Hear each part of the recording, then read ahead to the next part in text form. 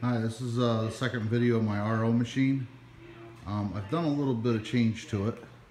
I've actually, starting on this side, I've actually put in a couple of ball valves. That way I can use my transfer pump to pump water or pump sap out of my holding containers down out my door out there to where my evaporator is. So I can use this for a couple of things, for transferring and as an RO. So as before, I, uh, I'm going to pump out of these containers. I'm going to take a measurement here and see what my sugar content is.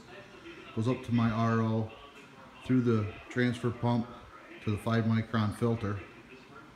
Then it goes around a quarter inch line to this high pressure pump. Then it goes up to my pressure gauge. Goes over, I took out some uh, uh, valves I had in there and a bunch of the splitter. What I did is went to the top of the first RO, down to the bottom, back up to the top of the other RO, and then down, round to the side. I just put a flow limiter in. I want to see if that works.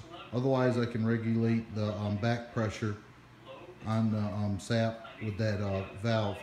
Then it goes over and into my holding container again for right now so I can raise the sugar content a little higher. And this is my clean water. So I'm to take a measurement and see where my sap is. I just collected a little bit. Um, tomorrow we should have a really good sap uh, run for the next few days actually or for the next week. I've got a little bit so I can get this tried out. So I'll uh, let me get my um, container and uh, we'll, we'll check the sugar content. So I just took some sap out and my sugar content, wow, it's actually at 3%. That's uh, pretty high for me. I usually only get about two. So that's a pretty good starting point. So we're gonna turn this RO machine on. I just drained what I had in there. And uh, see how this uh, backflow valve works to start with. And then we'll see um, what the sugar content is. Me plug this in transfer pump's a little loud. So my uh, pressure with that backflow limiter is at 100 and uh, about 105. So that's going to work really good.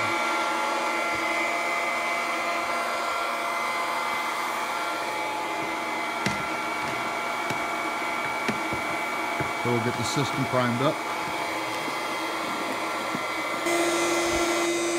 Okay, I had a little bit of a problem. I ordered some elbows, like this here, because the straight fitting leaks a little bit. And I don't know why, but they were restricting the flow so much, my pumps weren't working. So I wasn't sure what it was. I changed filters. I tore apart my uh, transfer pump piece back here, so I thought maybe that had something to do with it. And I don't know what the heck's up with those with the with those fittings. They have a pink end on kind of like this does. So I'm not sure. But anyway, I got this thing working. I'll have to put my transfer pump pieces back in it when I get done here. But I just wanted to check and see what the sugar content was. So we'll let this fill up.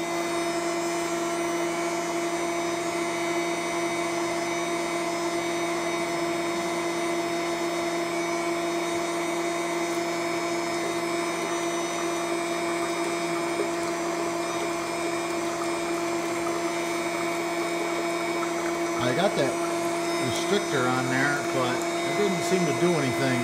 So I had to use the the valve. Um, I might have to invest in a little bit better needle valve, but we'll see. I, I might be able to get by with what I have. But this doesn't really work as well as I'd like it to. This is taking a few minutes. Apologize.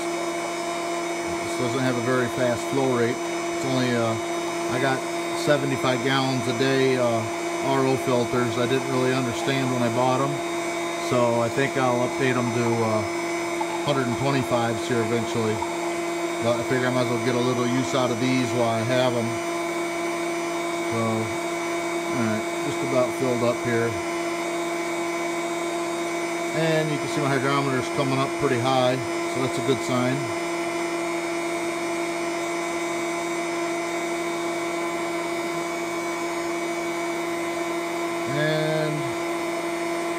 Right now, running through there one time, we're at five and a quarter percent. So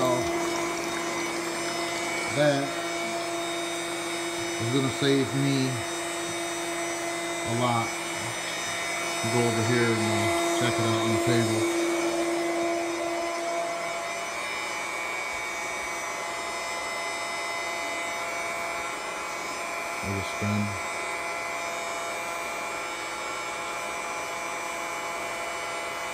So, I'm not sure if you can see that. We're right at 5% with just one pass through. So, that's my RO system. And it seems working pretty good. Other than one city's leaking a little bit and I can't do much about it. So I hope that helps. A little bit of a pain to get working, but now that I got it up and running, um, I think it's gonna work good for me. Okay, this is the final configuration. I got this all working. Um, everything's hooked up. I fixed the leaks. I took out the one that was on the top here that was leaking and just replaced it, put it down here at the bottom where there's no pressure. Everything's uh, hooked up. And tomorrow, with any luck, we'll have lots of sap and I'll get this thing in operation. Said it as it stands right now, I was getting uh, 3% sap today with a little bit that I got. And it was coming out of this RO first pass at 5%. So I guess that's pretty good for what I have. Um, it could be better, I'm sure. Maybe next year I'll put two more uh, RO filters on it. I got room for it on the on the back side over here. So that's what my plan was. I can put two more uh, filters back here next year and I can run four of them. And it's totally portable. Moves around pretty nice. Um, so that's it. Hopefully it gives some other people some ideas. And uh, have any questions, um, ask. I'll try to answer them. And uh, good luck this year.